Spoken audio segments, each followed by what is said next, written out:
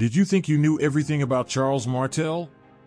Charles Martel, a name associated with power, was a Frankish military leader who saved France from Muslim invasions in 732 during the Battle of Tours. He served as the mayor of the palace in the Merovingian kingdom, a powerful title that made him the de facto ruler of France.